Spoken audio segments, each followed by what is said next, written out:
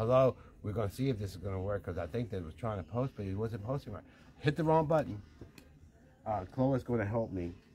So if you got knocked off, you know what? My fingers are getting too big for my camera, so I need to find something better. But we're going to do a, what you call, a, uh, uh, what was I saying earlier? Challenge. A cha- yeah, uh, iron challenge. So we have our Singer, we have our Electrolux. This is the one that I showed a couple of times. I really like this one because what's so wonderful is that it will give us a constant steam for like 15 minutes. So when you're steaming, you can steam your curtains and whatever you might want to do. And that is going to be awesome. So what I've done, ladies, is I've gotten uh, some wrinkled, I've wrinkled up some fabric. So I have had some pieces in here. So I'm going to just simply press these pieces equally with each of these irons so that you can pick the right one for you. Remember, ladies, we're doing these at a discount. All right. So the Electrolux, uh, it's normally, mm-hmm, I remember it. Oh, 159 is normally 159. You get 20% off of that. Thank God that thing is working. On our Singer iron, it is normally, she got a little weight to her. It is normally $89. You'll get 20% off of that. All right. So, 89, that's 90, that's what, one, that's $18 off. All right. So you'll get these on a special deal if you if you want one this weekend between now and Saturday. I'm going to start with our Singer iron and show you how you would just simply plug this in. It's all plugged in. It has a 10 foot cord, ladies. This one actually have has a self-cleaning button so that you can clean your iron um, what you call it uh, by hitting the self-cleaner all right all of them both of them have water to place inside here you can just use regular water not distilled water but if you want to use distilled that's fine you have a wonderful little gauge from steam to no steam on the front of the iron on the top here where you have your holder you have plus and minus that will give you a range of heat so we're going to turn this one on and it clean it beeps at you to let you know that you are in a certain um, temperature. So first you have nylon. This is wool and silk. This is polyester. And it shows you that you have to have steam. And this is maximum. Cottons and linens. We're going to allow this to heat up. We're going to put this on steam. We have a steam button. We have a spray button. Look how quickly that thing set, set up. I did not have this plugged in to just now. So these are great irons. I'm going to now show you how that you have the Electrolux. All right. The Electrolux is very similar to the Singer. It's got not as many little buttons to worry about, but you have the spray. You have your plus and minus on top here. Minus will take you from synthetics, nylon, wool, cotton, and then linen. It went, it went out. We have too many things plugged in. Let me turn the light off.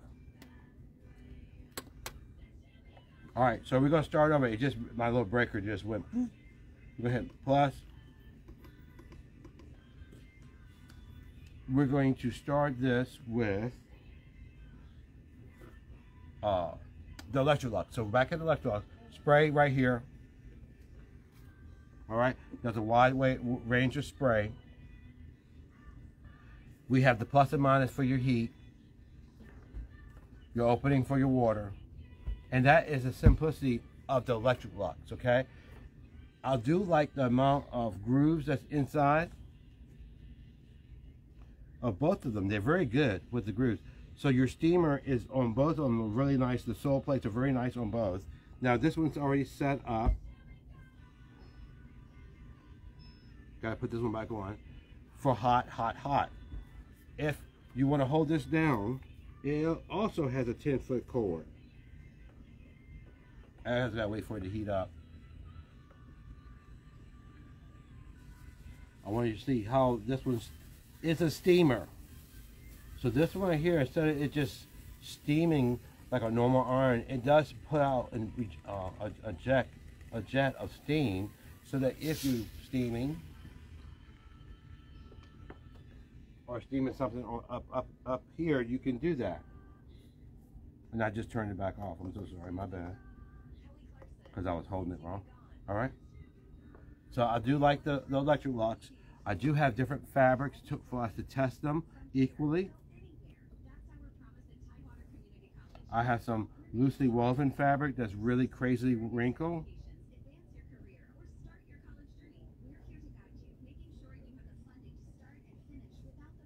And I didn't turn it back on again.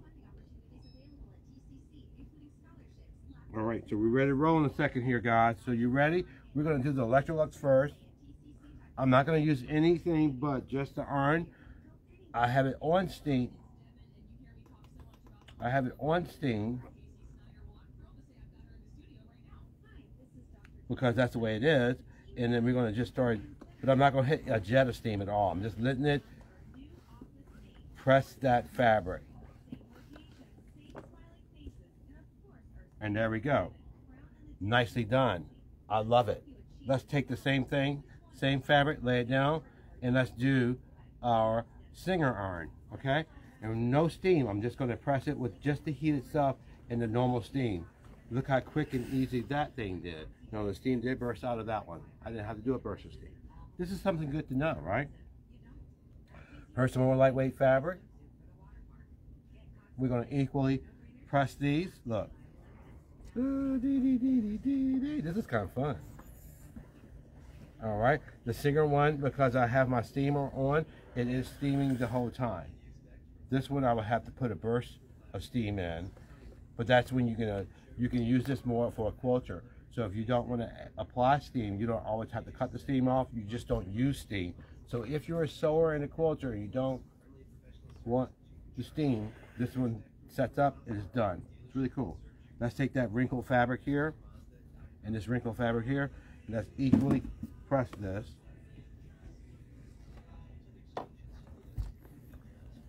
And as you can see, oh my gosh, they both doing a good job.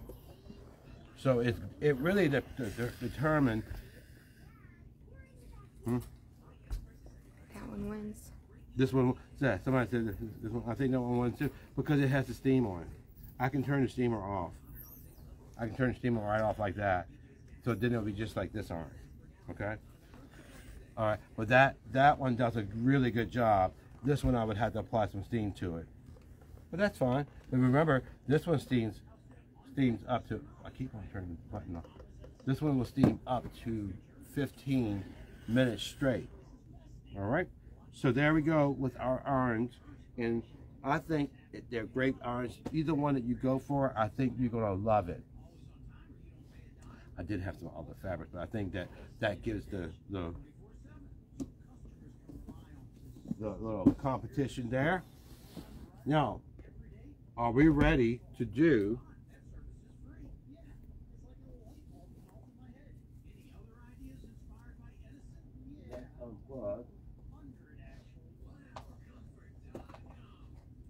Are we ready to do our twin needle work? I'm gonna put these hot irons away, okay? Needs a 20% off. I'm gonna slide that of the way.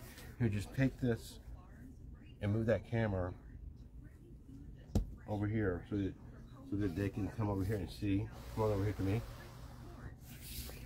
Because I'm gonna go this way.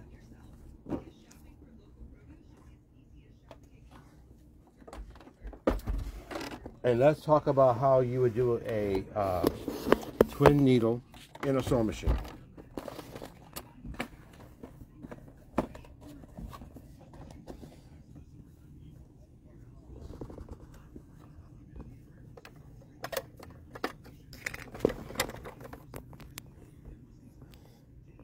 And I'm going to tilt this just a little bit more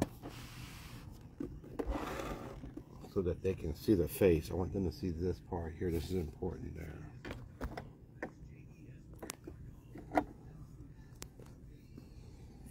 Up further. Go up a little bit higher. Perfect. Let me just make sure. Because the part, the part what they need to know is right here. It's not up high enough. So we're gonna go up a bit high. All right, ladies. So when you are doing twin needle, you did you will determine on what size twin needle you want, what distance you want.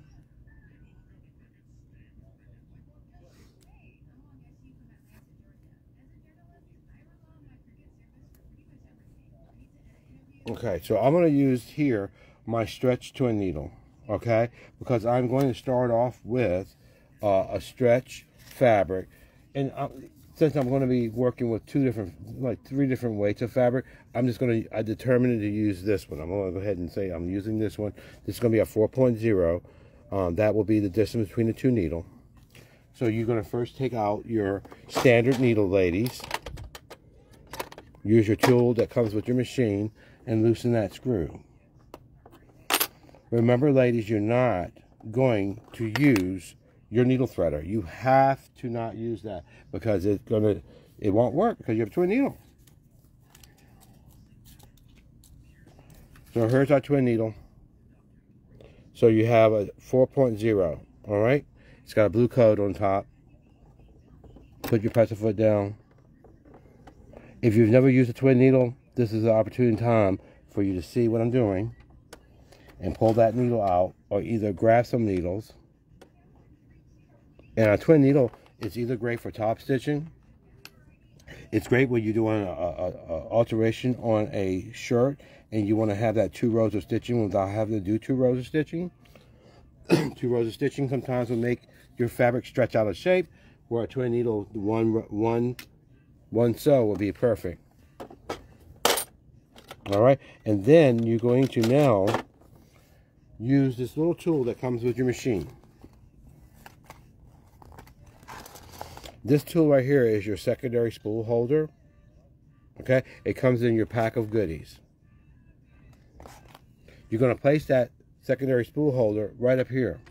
There's a hole specially made for that. You're going to take your embroidery thread or your sewing thread or whatever thread you might be using, place it on here, and as you can see, that is going to be the holder pin for your uh, second spool. Now, you can also use your little spool cap to keep everything all nice and pretty and on the machine so you get per perfect uh, thread off the thread delivery. If you do not want to use this, there is a spool holder that you can purchase for Juki machines, all right, which is a secondary spool holder that fits on the back of the machine with a telescope, and you can use cone threads and everything, but it just simply slips on the back you can take it off when you don't want, but it's two little holes back there. So if you have not seen this uh, before, come to our sewing machine department and look at this. You'll get 20% off of these spool holders. If you hate winding bobbins, there's also a sale on the bobbin winder. If you want a separate little mechanism to wind bobbins, ladies, we do have that on special for 20% off. So we have a Singer bobbin winder that winds all bobbins.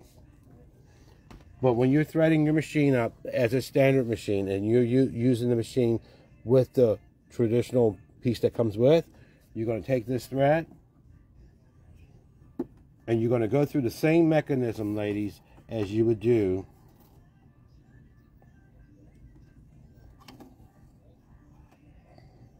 needle up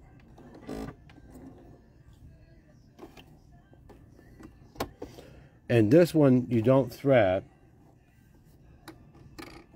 This spool is going to act a little funny, so hold on one second. Let me get it right delivery. Hmm. This spool works better inside of here. Let me see if this other spool will work. You just want to make sure that the spool, the thread comes off the spool correctly. Let's try this one the angle. That should work. That one, for some reason, now the spool didn't want to work well. You're going to come down to this point here, ladies.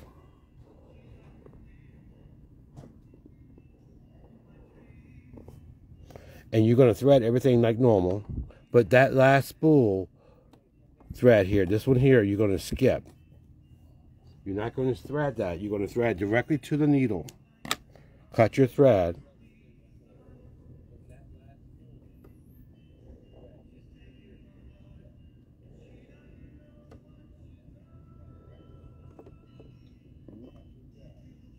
I'm just going to pull that. I'm, I'm so far away from my needle. I'm so sorry. I might have to turn this. Go ahead and pull this camera back a little bit. That's so I can get closer to the needle. I can't see. We're just going to thread. Now I'm going to pull this towards me so I can see the eye of the needle more, ladies. I'm so sorry. All right, so blinds the bat. You can use your, those uh, handheld needle threaders if you have an issue, ladies, so you don't have to fumble like I did here. But you're going to pull that thread through. Remember not to thread number six right here, okay? You're going to keep that thread, place it underneath the foot, and let it roll here. You're going to grab your next thread on top and bring it around, up, and then down. And this one will go into that slot. And I could have done that one first, okay? But you want to go ahead and thread. That one is in the slot, the other one is not. It is important to separate them so that they, they won't tangle when you're sewing. Put the foot down and thread that needle. That one I had a better, better threading process. All right. So that is the threading of a twin needle, and that's all she does. All right. I'm gonna turn my machine around. you stay right there. Make sure that you're on a straight stitch.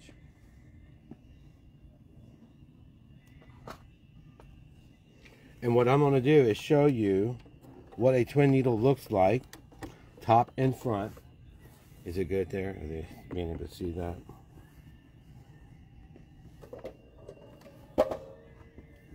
And we have twin needle. I want to move my stitch length a little bit longer. What's nice about a twin needle is you can meander with a twin needle and just be careful of that spool, the top spool so it feeds right. You can also do rows and rows of straight stitching. But this is a great stitch to play with on your quilting or any type of sewing.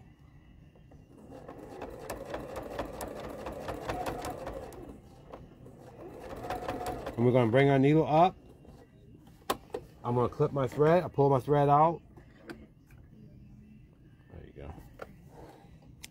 And then here is your twin needle. Make sure it's in front of them. Is it good? Is it blurry? Yes? Okay. So that's front. You got it? And then hers is zigzag backside. Okay. So your twin needle will give you a zigzag back and a straight stitch front. So this is a fun part. You can just meander it's a great way to put texture to your quilts. But what's nice is you can then take this to a home dec fabric and you can do two rows of stitching.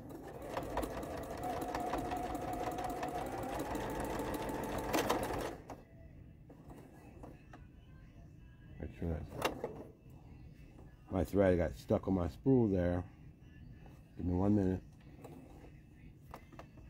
Yep.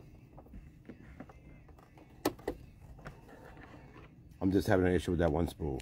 So let's go ahead and show them that. That is your twin needle. I'm just going to rethread that one spot.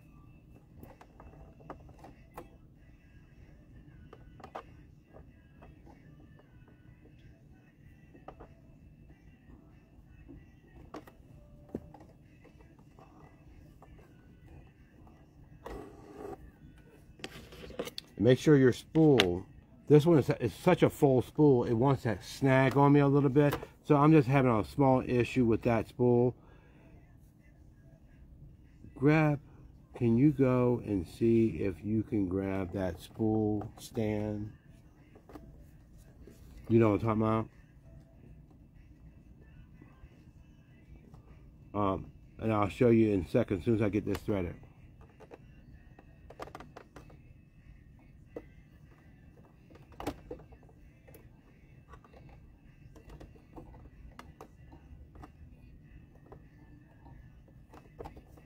All right, thread underneath the foot. I'm gonna lift this up so you guys can see what I'm talking about. This spool is so full, it wants to snag as it's stitching. So we have a, we can do this. We can do it so that this can move back and forth, but it just wants, it's just so much thread on there that it just wants to go over there like a little ridge. So I'm gonna be careful and not sew too fast but what I want to do is just let you stitch this down a little bit further. And then hopefully if she can find me my thread stand, I'll show you what else you can do when you're having an issue like that. I'm just going to keep an eye on my thread. Perfect. Now, this right here is going to be much easier. So I'm going to use this because this, since that spool is acting all cray cray on me, I'm going to put this thread on my spool stand because the one that came with it with that spool is acting funny. This is very, very inexpensive and it's good to have it too so that if you don't want to purchase the Juki cone holder that fits on the machine, you can get one of those. And by, by the way, 20% off. Now I'm going to stitch.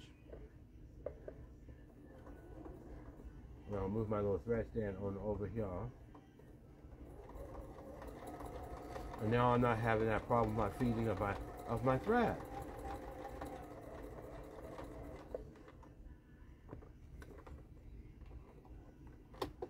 And there we go.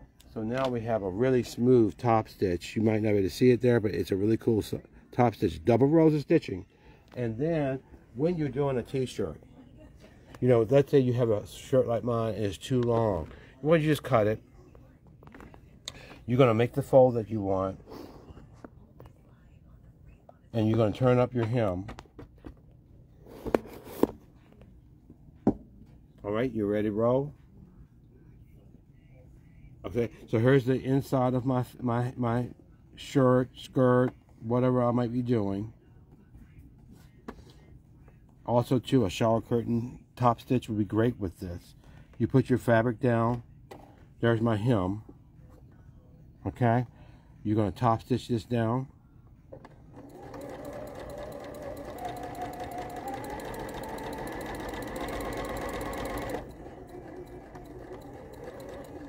I'm gonna make a, and I'm gonna take my pressure on my pressure foot and loosen it up because what I'm having, you see that little bit of wave? Well, on our Jukis, we can loosen the pressure. All machines can't do that, but this machine, you can loosen the pressure, and it'll put less pressure on that fabric so it doesn't stretch out of shape. And you lift your needle up, pull, and look at the correction that I just made. So here is where I started and you get a you get a ripple. And then this one here is loosening the pressure of your pressure foot, which then gives you a perfect flat stitch and your seam doesn't stretch out of shape.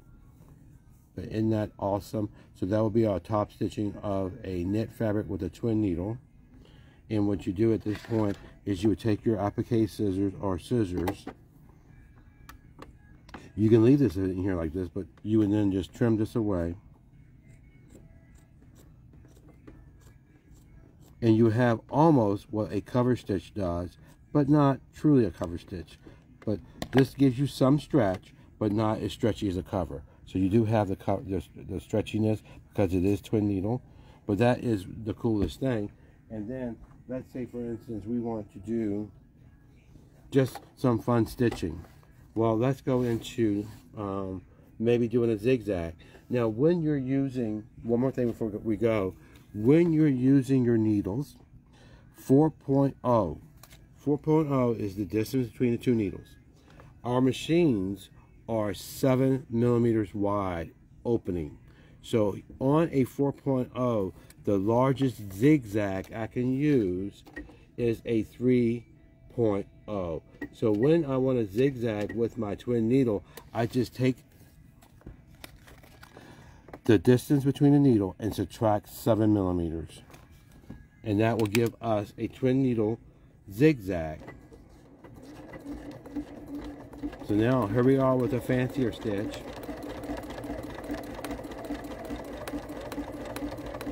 Well, I'm gonna put my foot back to pressure back on normal, which is five. I had it on one for my net.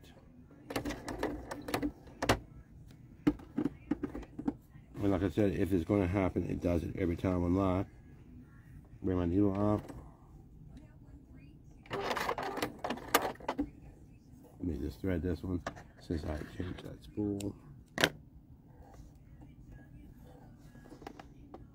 And I'm going to take this thread, this thread, and lay it in my slot first. And take this one and, oh, I have two different weights of thread. I have a 30 weight and a, and a lighter weight. That's probably what, what I'm having an issue with. Okay, that's okay. It happens. Now, let's stitch.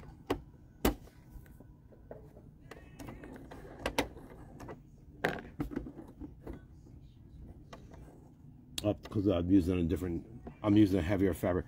Let's take this needle out, ladies, because I'm using two layers of polyester fusible with fabric, two layers of fabric. And this is a stretch needle, remember?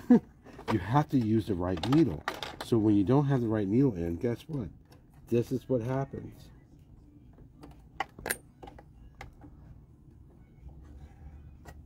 So it went collywonky, see? All right, because that needle was not the right thickness or type of needle that I should be using for this fabric weight. So now let's get the right one.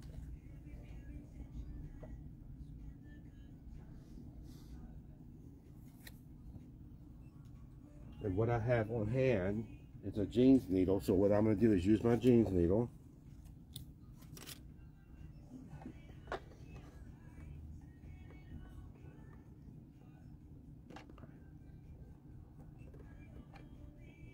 It's going to be a sharper point.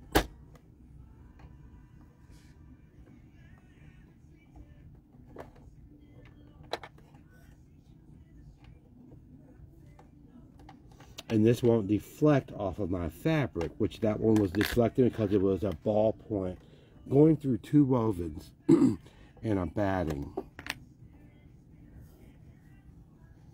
And I'm going to thread my machine in the right sequence. So this thread, I'm going to thread normal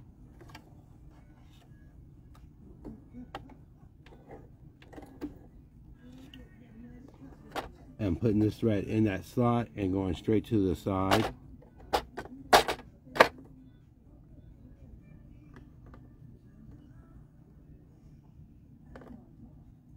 Hmm, sorry.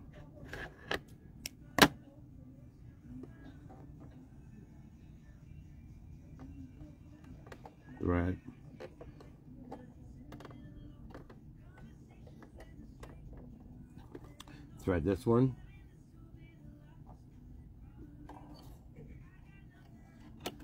and we're not going to thread that last slot okay guys so we're going to go right straight to that needle. And this has a larger eye and the needle is thicker so that it won't deflect. It will cut right into that fiber so I won't have any issues with sewing uh, this canvas looking or this thickness which would be almost like a bag or canvas fabric. Now when I stitch it's going to give me better results I'm sorry ladies but that's you know things happen when you're on live it always happens to me. Now we're going to stitch.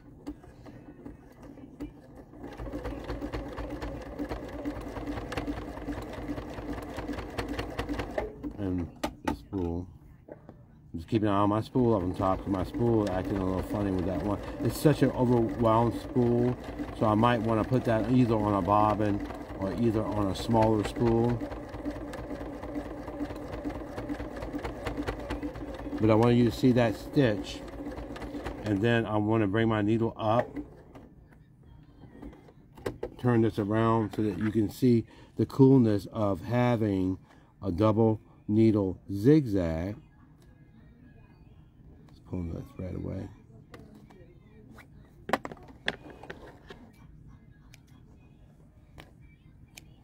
So here's your double needle zigzag. And then let's look at this because now we have this on a, a blue fabric. You can really see this better. And let's do it right to a straight stitch. And I always like to lengthen my stitch a little bit because I'm using a twin needle and I don't need to have a very long stitch. Oh, these threads are acting funny. They're sticking on the spool. You see how I just did like a fishing line? All right, so there we go. Bring my needle up.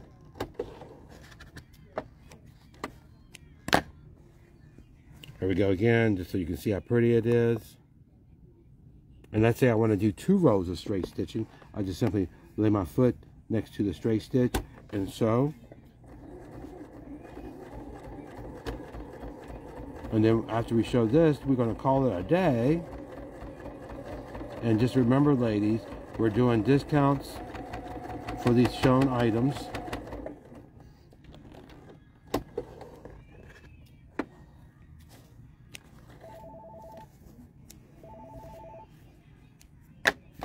And there we are. So you can do rows and rows of this to make it look really pretty. You could do certain distance. It's just as pretty as on the back side as in the front side. But what's cool is that it just simply fits on your machine. Standard machine. You can use your little thread holder. You can use this one. Depending on the spool, you just want to make sure that when your thread is feeding, that it's not catching on any of the little notches. Uh, if it does, it's going to break your thread and you have the option of buying a, a Juki thread holder, a standard thread holder, or the one it comes with. Remember too that we have the special deals on the Singer and Electro, uh, Electrolux irons. Uh, all the needles are in stock. You can grab one of these little booklets as well. If you have any questions, you can call us at 757-588-1300 and join me tomorrow for the end of the bolt sale. And Chloe, can you just show them? This is going to be some of the bolts that we have on special. And guess who's going to be here to help me tomorrow? Doug Jarvis, the owner of Fabric Hut. So he said, do you need me to help you tomorrow? I said, yes, I do. So you get to see his face tomorrow. So he'll be here tomorrow at 12 o'clock. And then tomorrow at 3 is Gotta Have It. So I have a collection up my sleeve that I'm going to show you. It's a special deal. And until then, y'all have a great day. Thanks.